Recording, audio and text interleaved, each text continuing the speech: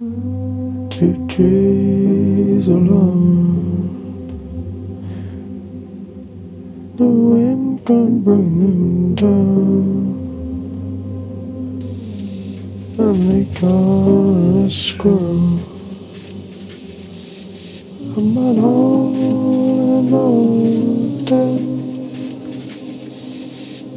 Trees with messy tangle. Fingers with hair.